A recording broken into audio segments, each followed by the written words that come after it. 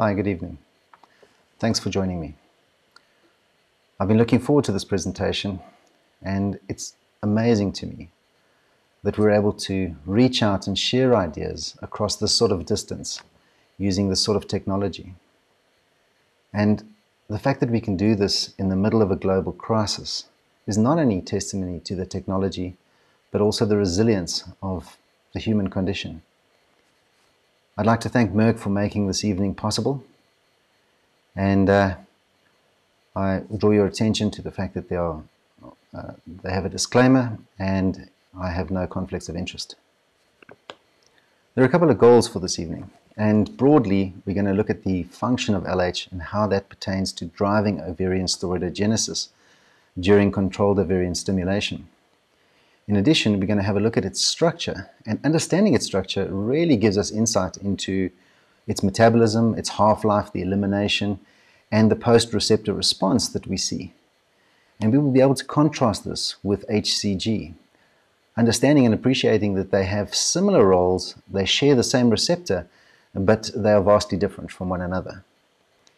And in addition to that, we're then going to look at the patients who surprise us, the ovarian hyporesponders. These are patients who, by all prediction models, should have done much better. They have normal ovarian reserve tests. Their AMHs are great, but they don't perform so well. And in so doing, we'll highlight some of the, the shortfalls of our current prediction models, and we'll be able to look at that and understand perhaps the role of pharmacogenetics in better understanding ovarian hyporesponse. And lastly, I hope that we will walk away understanding better where LH will benefit our patients during ovarian stimulation. So very briefly, if we look at the physiology of ovarian stimulation and where LH fits in, it really is in driving the androgen synthesis in the theca cells. And we know that LH binding will, at the theca cell level, will activate the delta 5 pathway, which takes us from cholesterol to eventually uh, testosterone and androstenedione, uh, which are the two androgen substrates for aromatization into estrogen within the granulosa cells. So this theca-derived substrate really is uh, the rate-limiting step for estrogen synthesis. And we need to understand which patients require additional LH and who will have sufficient levels of LH without requiring any substitution during stimulation. When it comes to the structure of LH, we know that it's a heterodimer. It consists of an alpha and a beta subunit, and both of these are glycoproteins.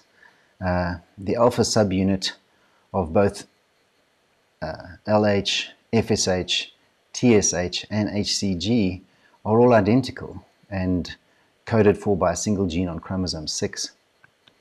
Now the beta subunits of each of these molecules confers specificity and function, but it's important to realize that the protein backbones, if you like, the amino acid sequences are not where the function lies. It's actually in the carbohydrate moieties, in other words, the carboxylation. And we really need to understand that in terms of the difference between LH and uh, HCG. The more carbohydrate groups you have, the more glycosylation you have, uh, the longer the half-life. In addition to that, these carbohydrate groups can be further modified by the addition of sialic acid, which will further enhance uh, the half-life, or through sulfonation, which will reduce the half-life and increase the elimination. Now, if we look at these simplified molecular diagrams showing the alpha and the beta chains, we can see how LH above has a single N-glycosylation site on the, on the beta subunit, uh, whereas HCG has two N-glycosylation uh, sites and four O-glycosylation sites. Now remember, we said that glycosylation adds to the half-life. It basically reduces the serum or plasma elimination, and uh, which would normally occur in the liver and the kidneys. In addition to that, LH has 1 to 2 sialic acid residues, which also promote uh, a longer half-life but HCG has 20. And so we start to understand that functionally they are similar, they bind the similar receptor, but their metabolism is completely different. Now it's interesting that the differences between LH and HCG do not stop simply at their elimination and half-lives, but in the post-receptor effect. They share a common receptor, but it would appear that the LH-HCG receptor can act differentially depending on what is binding it. And certainly we know that HCG is five times more potent than LH in terms of the cyclic AMP levels measured in the intracellular compartment.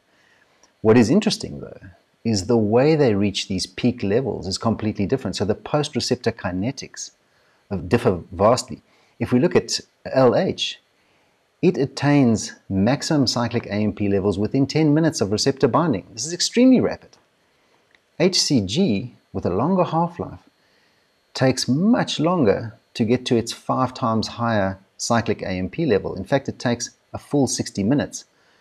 Uh, so the post-receptor kinetics of the cyclic AMP and, and following on that the pyruvate kinase uh, signaling takes place at completely different rates for both of these enzymes.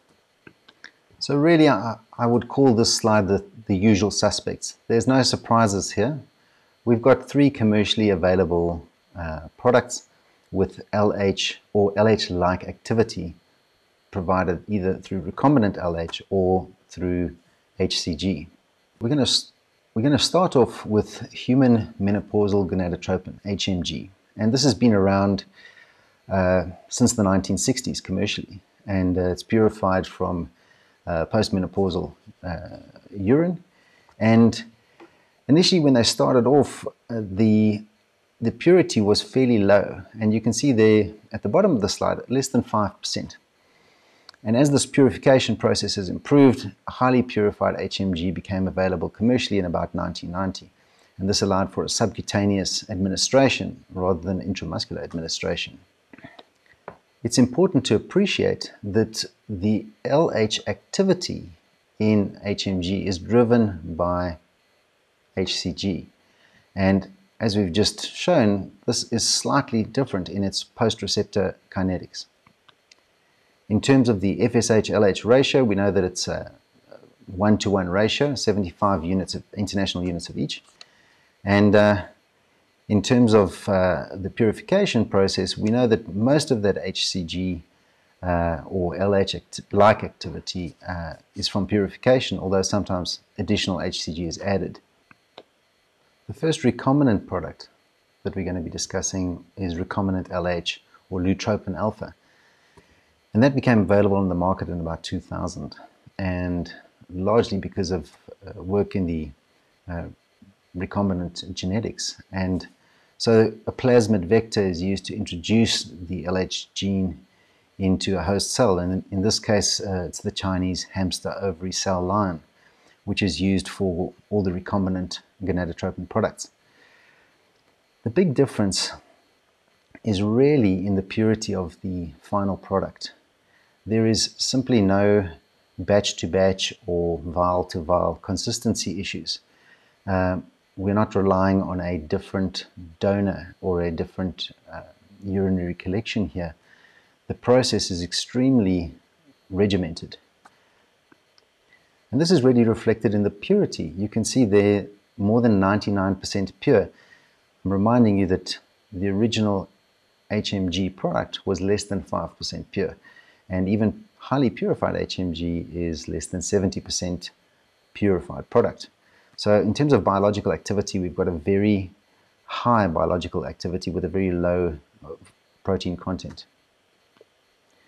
The last product to enter the market from the recombinant side, of course, uh, was a combination of uh, follitropin alpha and lutropin alpha, and uh, that was launched in 2007. And uh, the combination, the ratio of FSH to LH is 2 to 1 as opposed to HMG, which is a 1 to 1 ratio. And again, because of the process uh, in terms of the production, there is a great consistency from batch to batch and also from vial to vial. Uh, we're aware of the fact that in a natural cycle, uh, FSH works within a threshold or between a threshold and a ceiling.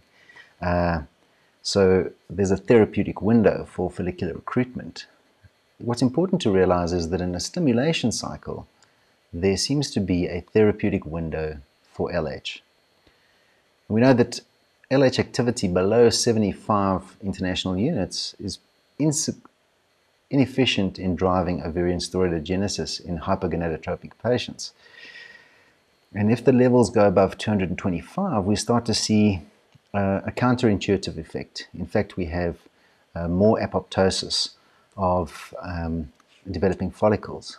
So we really need to keep between somewhere between 75 and 225, but we'll talk about that now. In stimulation cycles, when we use GnRH analogs, we induce pituitary downregulation and a relative hypogonadotrophic state. So the question is, who needs LH then? Is it for everyone or is it for a select subgroup? And up until now, it's really been felt that the resting levels of LH should be sufficient to drive the ovarian steroidogenesis in normogonadotrophic patients who are ovulatory. So, and the reason for this is that we need only 1% of LH receptors to be occupied in order to adequately drive ovarian steroidogenesis in terms of the androgen biosynthesis. So we don't need a very high serum value. So who definitely needs LH during their stimulation? And we're quite happy to give LH to the hypogonadotrophic patients. And then in the normogonadotrophic patients, there are two groups. And those are essentially the women over the age of 35 and those who have shown a hypo response to recombinant FSH monotherapy. And it's important to realize that hypo response and poor response are two separate and completely disassociated uh, states. Looking at the therapeutic window for recombinant LH in hypogonadotrophic patients, um, they've seen that, as I've mentioned, at least 75 international units of recombinant LH are required in addition to recombinant FSH to allow for folliculogenesis and adequate estrogen synthesis. Uh, without this LH activity, if we go below that level, we start to have a reduction in estrogen levels and inefficient follicular genesis. Of course, one would say, well, if we increase this, will we get an increased response? And the answer is yes, but only to a point. So it would appear that perhaps 150 units of recombinant LH has an advantage over 75 units. But once we get to 225 international units daily of recombinant LH, we are actually going backwards. And that's associated with follicular atresia and paradoxically a reduction in the estrogen levels. In this era of evidence-based medicine, uh, we feel that meta-analysis and review will guide us, but sometimes the evidence is conflicting. And if we look at the Cochrane data uh, regarding the place for recombinant LH in ovarian stimulation, it really appears that there is no value in an unselected general IVF population for recombinant LH. Now, this has led to a lot of dissatisfaction amongst authors who feel that perhaps the older patient was not properly represented in this data. And we know that many of the studies which they included had an average age of between 32 and 33. Now, if we look at global trends to delayed maternity, and certainly if we look at IVF trends internationally for women seeking to, uh, to have their first child, more than 50% are over the age of 35. So really, the Cochrane data does not speak to the vast majority of patients seeking to conceive for the first time in IVF units globally. And in this older patient group, there seems to definitely be a benefit. As you can see in this slide, in studies specifically looking at women over the age of 35, the addition of recombinant LH is associated with significant uh, improvements in outcome. And what's important here is the higher implantation rate is nearly one and a half times higher when we compare women above the age of 36 who receive recombinant LH compared to those who receive FSH monotherapy alone. In addition, this is associated with a higher ongoing pregnancy rate, again almost one and a half times. It's important to show that that higher implantation rate was statistically significant, um, although the pregnancy rate did not reach statistical significance in this particular study. Again, in a pooled meta-analysis and systemic review of stimulation cycles in women above the age of 35, it appears that recombinant LH is associated with a lower cumulus oocyte complex yield. So in other words, you get less eggs, but it appears that the quality of those eggs is improved. Not only that, it appears that there is a positive effect on the endometrial receptivity in fresh embryo transfer cycles. And this translates into a higher implantation rate uh, with an odds ratio of 1.3 and a higher pregnancy rate of also an odds ratio of 1.3. And we can see there that both of those are significant. So the take-home message here is when you're looking to stimulate patients above the age of 35, LH most definitely has a place. I've already alluded to ovarian hyporesponse and, uh, and poor ovarian response as being two distinct entities. And up until now, we've had a very limited prediction model for how a patient will respond to ovarian stimulation. And some may argue that in actual fact, the stimulation is really the only means of accurately predicting how a patient's going to respond to gonadotropins. But we know that age, antral follicle count, AMH, uh, and looking at underlying risk factors may give us some indication of how a woman is likely to respond. In addition, previous ovarian response in a stimulation cycle obviously gives us a great insight into their potential for the future. So how good are our prediction models of ovarian response or ovarian reserve testing, if you want to? And we know that the antral follicle count and AMH have been ratified as probably being the best, the most accurate, the most reflective of a patient's response to stimulation. They're considered to be the most specific and sensitive, but it's important to know that they're not perfect. We know that the antral follicle count can vary depending on uh, where the patient is in her, and certainly from cycle to cycle, we see a significant variability in the, the recruitable uh, cohort of FSH sensitive follicles, which are detectable by transvaginal ultrasound. AMH appears to be probably a more stable uh, ovarian reserve test, um, although both are associated with a false positive rate of between 10 and 20 percent. And uh, as I've mentioned, AMH seems to be constant from cycle to cycle, whereas inhibin B and uh, antral follicle count tend to vary quite considerably from one cycle to the other. Now, what are some risk factors that we can look out for just in our patient's history in terms of uh, poor ovarian response, particularly in younger women? And we must always be mindful of the role of mutations and premutations and uh, certainly Turner syndrome is associated with premature ovarian uh, failure or complete ovarian failure. And, uh, and the fragile X premutation is also something which can test for in patients with a poor response at a very young age. Something we see very often, tubal factor infertility itself can be a marker for someone that may not respond adequately to ovarian stimulation. And we've seen that poor response can be associated with positive chlamydial testing. I think it's self-evident that any ovarian surgery or ovarian endometriomas can affect ovarian response. And we know that the more we operate in the ovary, the more chance there is for damage and uh, a falling not only antral follicle count, AMH, but also ovarian response. Chemotherapy, particularly the alkylating agents, is particularly toxic for primordial germ cells.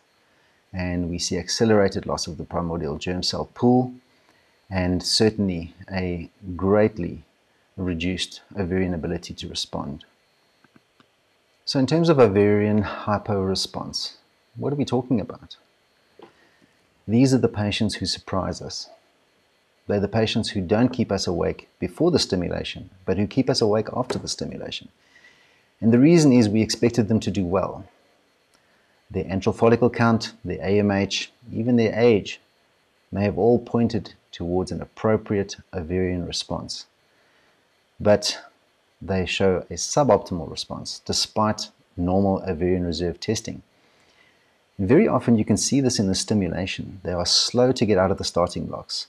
We see a slow follicular recruitment, really slow follicular growth. By stimulation day six, usually the follicles are still below 10 millimeters in average diameter. We see low serum estradiol levels on, on day six. And generally, we end up using far higher doses of FSH or a longer stimulation or a combination of these which reflects their inherent resistance to the effects of FSH. And it's important to realize that these patients have an inherent resistance, either at a receptor level or even in a, at a, at a um, LH beta subunit level, which we'll get to now. And they cannot be identified using our normal prediction tests. The first attempt to describe poor ovarian response or discriminate between poor ovarian response and ovarian hyporesponse was given to us through the Poseidon consensus group. And if we have a look at this slide, we can see that groups 1 and 2 are predicted uh, to respond well in terms of their uh, ovarian reserve testing. We're talking about an antral follicle count above 5 and an AMH above 1.2 nanograms per mole. Groups 3 and 4 are actually predicted to respond poorly. Um, and then these are stratified according to age. Now, while the Poseidon classification goes a long way to understanding how someone responded to an ovarian stimulation, there's still room for improvement. And so we can look at a couple of newer, perhaps, and more functional assessments of ovarian response to stimulation. The first of these is the FORT, or follicular output rate. And this is really described as the ratio of the pre-trigger follicles, those measured on the day of HCG or uh, Lucrin trigger, larger than 16 millimeters, expressed as a ratio of the antral follicles visible on the first day of stimulation. And uh, so we can see in the slide the difference between a low FORT and high FORT. Because egg number does not really mean anything if we don't understand what the potential of that patient was to respond. Another means of quantifying ovarian response to stimulation is by factoring in the quantity, the total amount of FSH used and dividing that by the number of retrieved oocytes. And this is known as the ovarian sensitivity index. The last measure is known as the FOI, or follicle oocyte index. And this looks at the number of retrieved oocytes expressed as the number of antral follicles at the baseline scan. So this is a modification of, of the FORT, and the only real concern that we have with FOI as a measure of response to stimulation is that it not only requires stimulation, but it also takes into account technical aspects such as the trigger, the response to the trigger, the timing of the OPU or the, or the oocyte pickup in relation to the trigger, and also technical challenges at the OPU itself. If there wasn't access to an ovary, an ovary which is stuck to the posterior uh, uterus or a myoma which prevents access to an ovary can all affect the FOI. So we, we do appreciate that this is not entirely the response only to the stimulation, but also to the pickup itself and the trigger. What all these various measures of patient response to stimulation show is that really we are dissatisfied at this point in time in the way in which patients who were predicted to respond well haven't. And we're really grappling with that. And so we are ready for the next exciting addition to the possible tools we can use in predicting how a patient will respond to our therapy. So, whenever patients surprise us, it concerns us because we don't feel in control. And for doctors, that's usually quite alarming. Uh, for the rest of the world, it's just another day. And we need to appreciate that giving a standard dose, albeit based on age, ovarian reserve testing, we cannot expect a standard response. That's, that's naive. And in actual fact, we know that at least 20% of patients won't respond exactly the way they were predicted, even if they were predicted to have a normal response. We're talking about healthy, normogonadotrophic patients who, with recombinant FSH alone, show a hypo response. And what this shows is that patients differ in their genetic susceptibility or ability to respond to a particular therapy. It's essential to understand that the efficacy of a drug and its toxicity does not lie solely with the drug, it lies with the patient's genetic predisposition. And very often, these genetic predispositions exist as uh, polymorphisms which have no phenotypic trait. However, they can be unmasked by a pharmacological challenge. And in this particular case, we're talking about stimulation. So, what's the difference between a polymorphism and a mutation? Well, really, it's a semantics, but if the frequency of a mutation is more than 1% in the general population, then it's termed a polymorphism. And this is the basis for individuality. And in fact, if we look at the variability within the human genome, about 85% is explained through polymorphisms. We have over 3 billion base pairs, which code for something like 20 to 25,000 genes. And for each 2,000 base pairs, there is a single nucleotide polymorphism. That's why I look the way you do, or I look the way I do, and you look the way you do.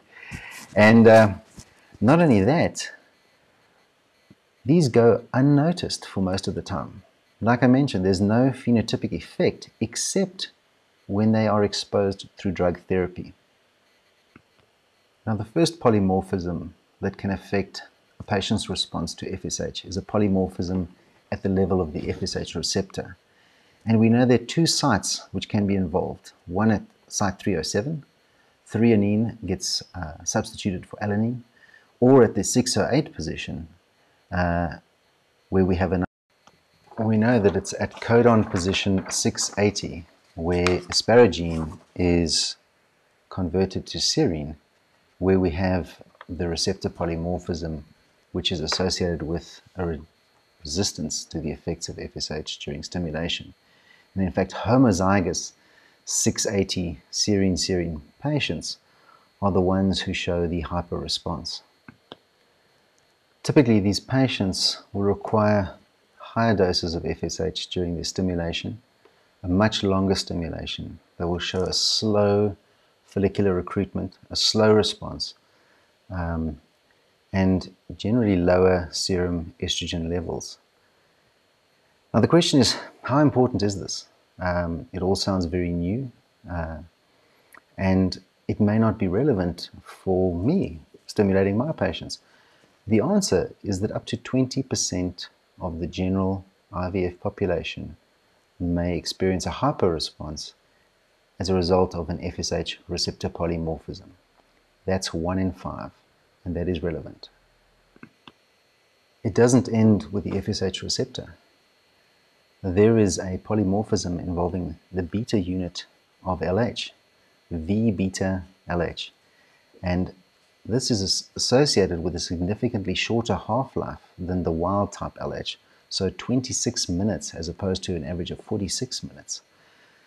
And this increased uh, LH metabolism in these patients alters the requirement for FSH during stimulation. So they also present uh, as hypo-responders, but are genetically dissimilar. And um, in this group of patients, their basal levels of LH have been shown to be up to twice normal. And in actual fact, they will most definitely benefit from the substitution of exogenous LH during their stimulation. You may be asking, well, how common is this particular condition? And I'm going to show you now. So if we look at this graph together, it's a little busy um, with this table, but you can see the frequencies within different populations will determine whether or not you think pharmacogenetics is for you or not. Even in the United States, within different populations or population groups within the United States, we see a doubling in the rates of V beta LH uh, polymorphisms. And certainly in Sweden, Finland, the rates actually go up from 20% to up to 40% of the population. So in these areas, it's essential to know what the rates of the polymorphism are in your population and whether or not that will require you to screen not only your donors, which we'll get to later, but perhaps the patients coming for stimulation. So how do we approach patients who've had a hypo response? Um, I think the first thing is to appreciate what a hypo response is. When you've had a patient who was predicted to have a poor response, they have an AMH less than 5, or an antral follicle count less than 5, an AMH less than 1.2, and they don't respond well, particularly if the AMH is severely reduced. I'm talking about the less than 0.5 group. Additional stimulation is not going to improve the outcome. What the ovary is giving us is all the ovary is capable of giving us, and that's the poor response group. The hypo response group are capable of far more, and for them it is implicit that we improve their response by changing our medication. So can you improve the outcome in hypo responders simply by adding more FSH? And the answer is yes, you can you can actually overcome FSH polymorphism driven receptor resistance by simply just increasing the dose of recombinant FSH. So you will save the cohort, but you will sacrifice the endometrium. And it's important to realize as you're adding FSH, you are driving the uh, delta 4 pathway within the granulosa cells. And the ultimate product of that is progesterone. So we see that if you add recombinant FSH to a hyporesponder, as you increase that dose, so you will increase the serum progesterone level. And in a fresh cycle, certainly, this will place you in a position where your endometrium may, may suffer from premature luteinization and the asynchrony between your endometrium and your embryo may be increased and this will translate into lower implantation rates. So in a freeze-all cycle, this is not really a consideration, but certainly in a fresh cycle, uh, you would be wise to bear this in mind.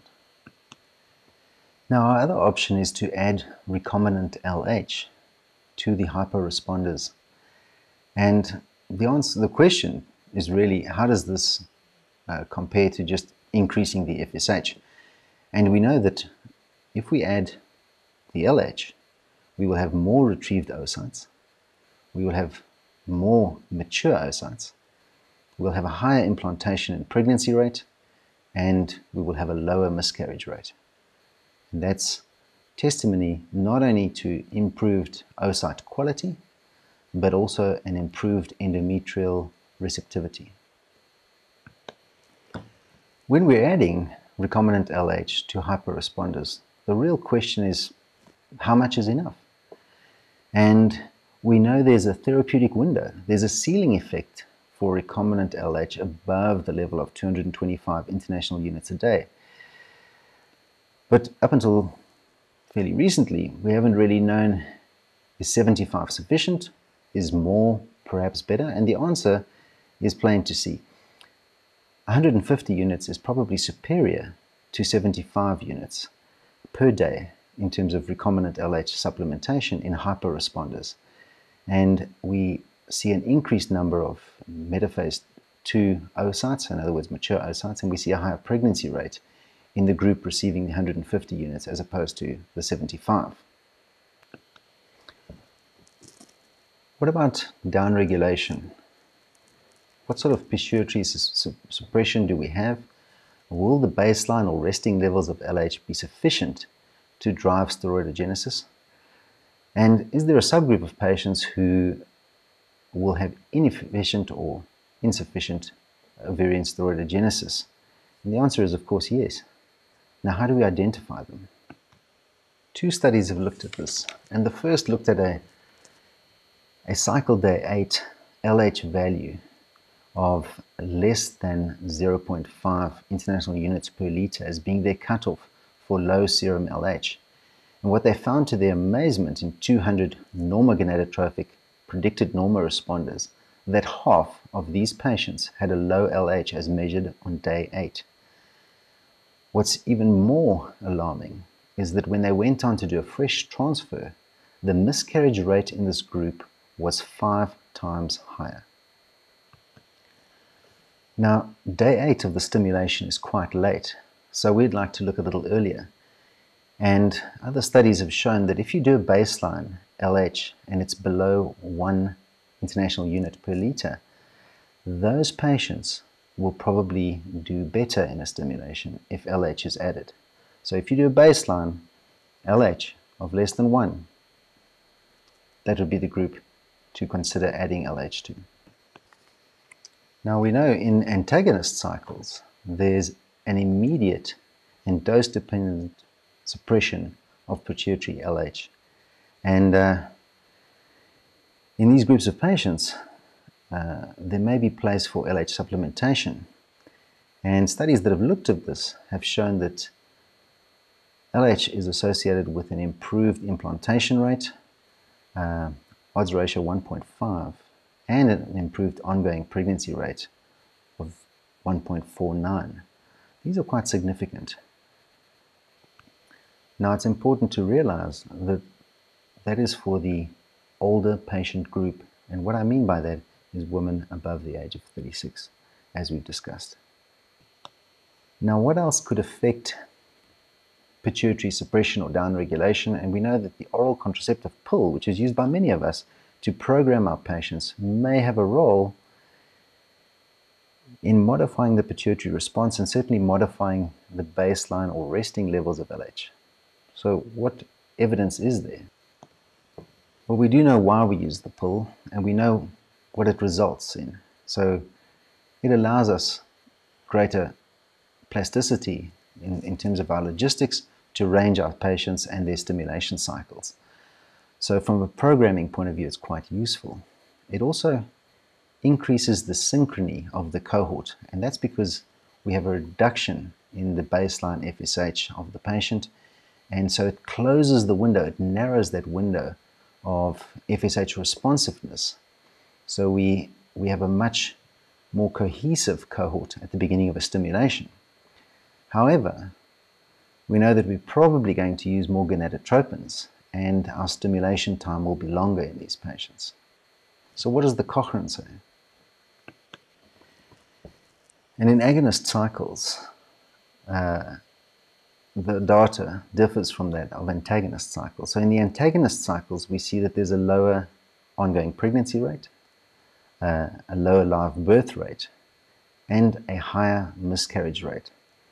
So there is a cost to using the oral contraceptive in the antagonist cycle.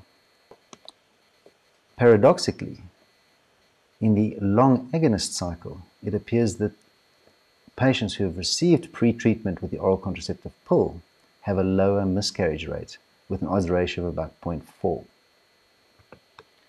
Unfortunately, it doesn't appear though there's any evidence for the role of LH or, no LH, FSH monotherapy, in patients pre-programmed with a pill.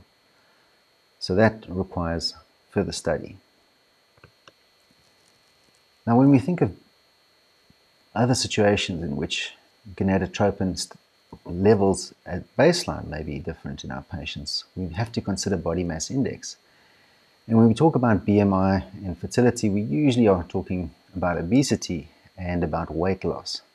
We have to appreciate that while overweight and obese patients have a profound uh, negative impact on their fertility, the extremes of BMI, in other words, underweight patients with a BMI of less than 18.5 kilograms per square meter, also have reduced fertility outcomes. And this needs to be uh, certainly addressed. Just generally, a lower body mass index is associated with lower levels of leptin, and these have been associated with lower implantation rates and higher rates of miscarriage, and overall, a lower birth rate. So we know that leptin is produced in adipose tissue and it correlates almost directly with the degree of adiposity of the patient and that endometrial leptin expression determines uh, implantation. More than that, leptin acts to regulate LH, estradiol, and it has an effect on the hypothalamus. And interestingly, animal studies have shown that in hypogonadotrophic leptin deficient mice who were treated with leptin alone not only restored their ovulation, but also their reproductive function. So leptin is key uh, in this entire uh, interplay between the low body mass index patient and their picture in terms of response to stimulation. This brings me to probably a, a point of controversy. That is, is there a place for LH in PCOS-like patients. And I say PCOS-like because we're not talking about the Stein-Leventhal hirsute, overweight, anovulatory patient. We're talking about the underweight, anovulatory patient who shows no signs of um, hyperandrogenism, but who does have an ovulation. it's important to realize in this subgroup of patients who have high AMHs, high antral follicle counts, who are predicted to be hyperresponders, that their anovulation probably does not lie at the level of a raised LH and an inability to select for follicular dominance, but rather an inherently low FSH level and an inability to reach the threshold for the recruitable cohort. And so these patients really represent more of a hypogonadotrophic picture than they do a polycystic picture.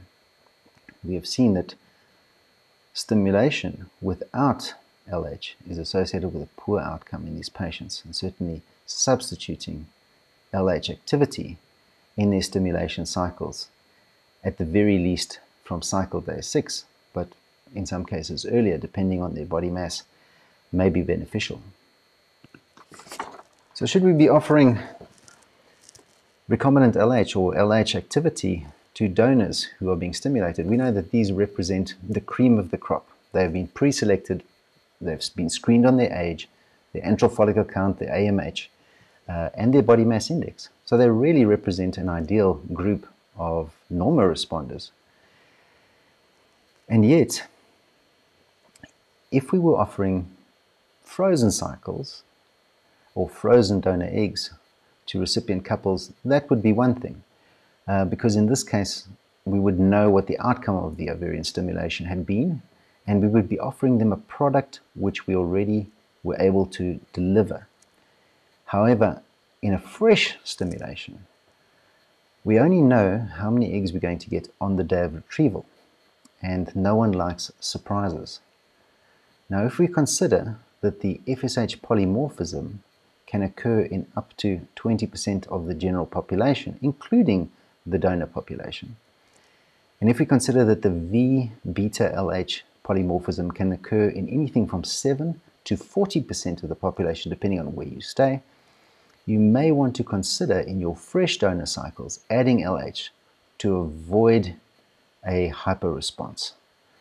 And in these predicted normal responders, possibly supplementing the LH from stimulation day 6 would offer an advantage and certainly it would reduce the number of cycles where you have a poor response uh, in a predicted normal responder. So in summary, I'd just like to drive home a couple of points. Uh, LH and HCG act through the same receptor, but they are structurally and functionally different. Their elimination and their half-lives differ. Their post-receptor kinetics are worlds apart. And one really needs to appreciate that. We know that there are three groups of patients who most definitely require LH. Those are the hypogonadotrophic patients, the women above the age of 35, and the hyporesponders. It appears that LH has a threshold and a ceiling.